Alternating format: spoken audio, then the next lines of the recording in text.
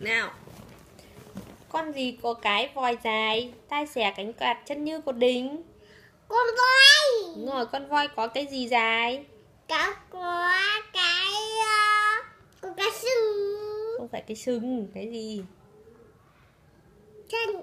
Không phải. Chân to như cột đình chân nó to như cột đình này. Nó có cái gì dài đây?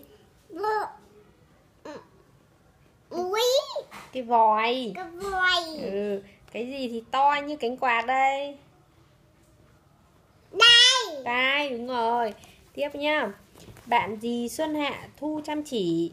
Không dám ngồi không ào ạt gió gọi đông ung dung say giấc. Con gì? Con gấu. Đúng rồi con gấu thì vào mùa đông nó sẽ đi ngủ. Và đúng không? Xuân hạ thu thì sẽ đi kiếm ăn. Đúng không?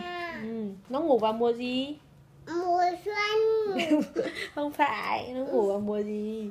Mùa mùa hát mùa đông. Mùa đông. Ừ. đây con gì hay múa? Nó múa làm sao? Nó rụt cổ vào nó xòe cánh ra. Con công. Con công đúng rồi. Là chim mà chẳng biết bay sống ở nam cực suốt ngày chỉ bơi.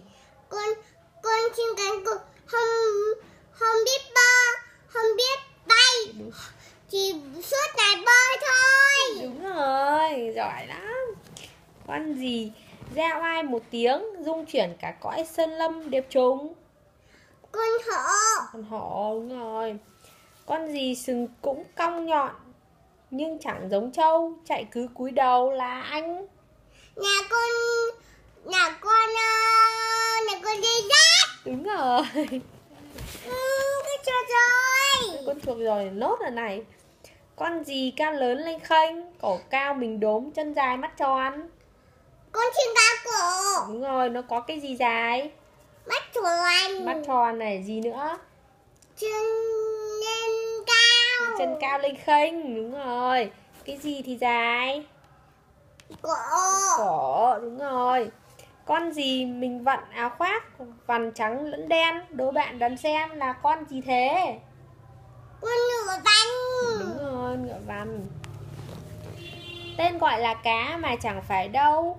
Sống ở biển sâu nuôi con bằng sữa.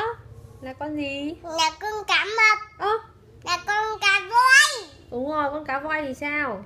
Không ăn thịt người. Đúng rồi con cá gì ăn thịt người? Con cá voi. Ơ.